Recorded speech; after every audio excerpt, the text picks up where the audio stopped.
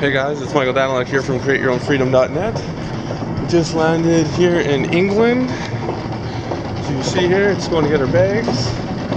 We gotta wait for Cisco for about an hour and a half. Cisco's about two hours away. And then we're off to take over Europe. Hope you guys enjoy. This is vlog number two of the trip.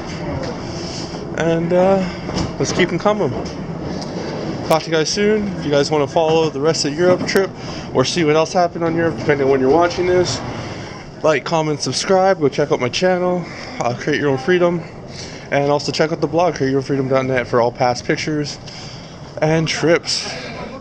We'll see you guys in the next one.